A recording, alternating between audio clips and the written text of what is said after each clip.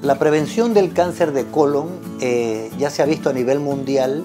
que va enmarcada, uno, a una buena alimentación, mucha fibra vegetal, muchos líquidos, baja cantidad de proteínas procedentes de carnes rojas y principalmente al tamizaje.